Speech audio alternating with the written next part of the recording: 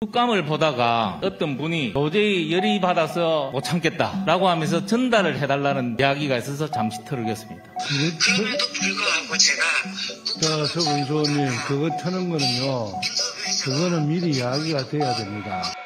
그 지사님 문주연 회장이라고 하시죠? 네, 그분은 우리나라 제가 파크뷰 개발업체 네, 파크뷰 특혜 분양을 제가 아, 예. 폭로한 사건 때문에 구속됐던 분이죠, 예, 저 예. 때문에. 근데 이분이 성남시장 시절에 우리 지사님께서 네. 여러 가지 성남시의 판교 푸르지오 월드마크라든지 판교 M타워, 신야탑 푸르지오 시티 뭐 이런 개발을 많이 하셨더라고요. 경기도 지사 시절에도 2019년에 동탄 2도시 부지를 매입했고 2020년도에는 파주운정 부지를 매입을 합니다. 근데 이런 부동산 개발 업체 사람으로부터 고액의 정치 후원금을 받을 수 있습니까? 그러면서 늘상 우리 지사님께서는 토건 세력의 부정부패를 막겠다라고 하시면서 고액 후원금은 그대로 받아들인다. 이게 지금 말이 되는가 하는 그런 생각이 들고요. 또 이분이 희한하게도 후원금은 우리 문재인 대통령, 박원순 서울시장, 우리 이재명 도지사한테만 보냈더라고요. 다른 분들은 또 신경도 안 써요. 인허가권을 갖고 있는 자치단체 장애만 주고 있는 그런 행편이고 가천대 석사 논문 표절 의혹 아시죠? 2016년에 우리 아, 네. 말씀을 네. 제, 하셨잖아요. 제 논문 얘기하시는 건가요? 예, 예. 네, 네, 네. 그때 한창 논란이 있다가 가천대에서 어, 부정 여부 심사 대상이 아니라면서 논문 표절 심사조차 진행을 안 했습니다. 그죠? 그러면서 덮어버렸어요. 그런데 희한하게도 이 문지연 회장이라는 사람이 그 이후에 그 다음 해에 가천대학교에 발전기금을 5억 원을 기부를 했습니다. 그래서 제가 보기에 우리 지사님과 문지연 회장 그리고 가천대학교에 기부한 시점, 발전기금을 기부한 시점 등을 고려해 보면 뭔가 관계가 있다, 개연성이 있다, 잘 가천대에서 이런 상황에 대해서 잘 조치를 해줬다고 해서 거기에 대한 기부가 아니냐 하는 합리적인 추론이 들 수밖에 없습니다. 그래서 어, 제가 생각하는 거는 우리 지사님께서 늘상 아까도 제가 말씀드린 토건 세력과의 척결을 하겠다라고 하면서 부동산 업 개발업자와 같이 어울리면서 이렇게 주고받는 도움을 주고받는 그런 관계를 유지하고 있다. 그러면서 새로운 대한민국을 만들겠다라고 말씀을 하시거든요. 그래서 참 이게 내로남불이고 어불성설이고 공염불에 불과한 거 아니냐라는 말씀을 드리고 남이 답하시고요. 그 다음에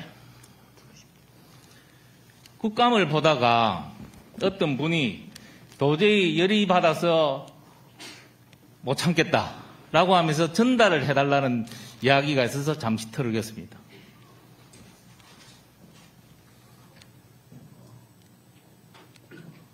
이거 트는 거는 그럼에도 불구하고 제가 자, 서근수님, 그거 트는 거는요, 그거는 미리 이야기가 돼야 됩니다. 그 들은 이야기를 함부로 틀 수가 없어요. 것은 예? 아니요, 아니요. 그거는 사전에, 사전에 트는 거는 녹음은 안 하기로 했어요. 마이크 꺼주세요, 마이크. 녹음은 안 하기로 했다니까요. 그러면 상대가 어떤 욕을 하더라도 그것 갖고 합니까? 그거는 이야기 아니죠.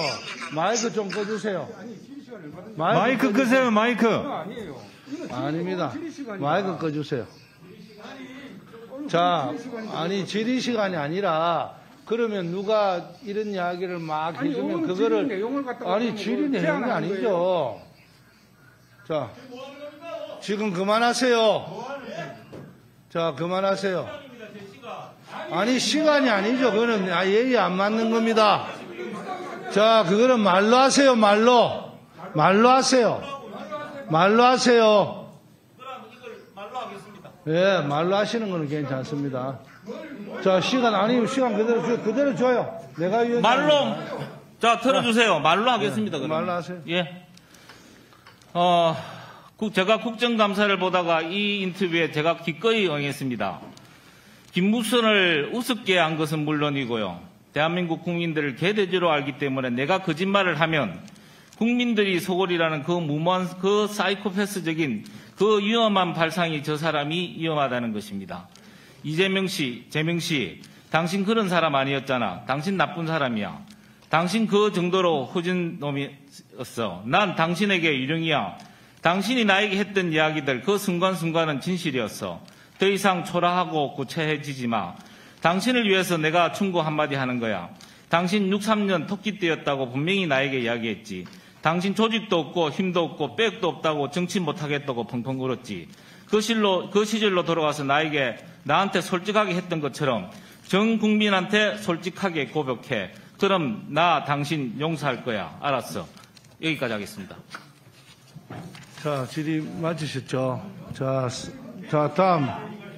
그거는 국정감사하고 아무 관계없는 내용입니다. 그런 이야기를 하시면 그거는 정치의 장에서 하십시오. 자, 우리 이재명 지사님 네. 답변해 주십시오. 자, 자, 조, 조용해 네. 주세요. 네, 제가 정말 좀 자, 첫 번째 네. 자, 그만하고, 자, 시작하세요. 아니, 예시원님, 지사, 지사님 말씀하겠습니다. 답변하겠습니다. 듣겠습니다. 네. 자, 자, 우선은 에, 우리 문주현 어, 무슨 부동산 하시는 분 에, 말씀이신데요.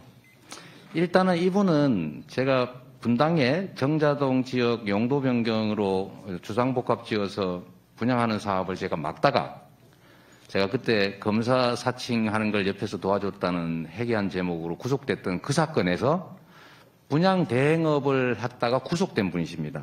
뭐 저하고 그렇게 좋을 수가 없는 분이시긴 한데 이분이 검정고시 동문회 총회장을 지금도 아주 오랫동안 하고 계신 분 같아요.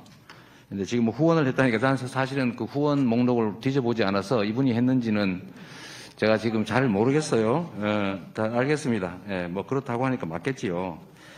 그런데 아까 두 번째 말씀하신 논문 얘기는 저는 그 부정부 제가 쓴 논문 제목이 지방정부 부정부패 극복 방안 연구입니다.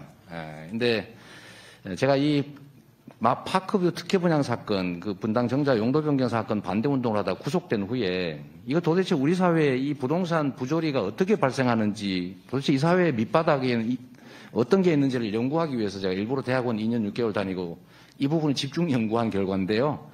이게 2012년에 이 소위 국정원 어, 분이 가천대를 가가지고 이재명 논문 내놔라 뭐 어, 토- 표절 의혹이 있다 이런 얘기가 나오길래 제가 그 논문에 뭐 특별한 이해관계를 갖지 않았기 때문에 제가 내용 증명으로 저 이 논문 필요 없습니다 취소해 주세요라고 가천대로 제가 송부했습니다. 제가 표절을 인용 표시를 제대로 못한 게 사실이기 때문에 그건 표절을 제가 인정하고 했다는 말씀드리고요.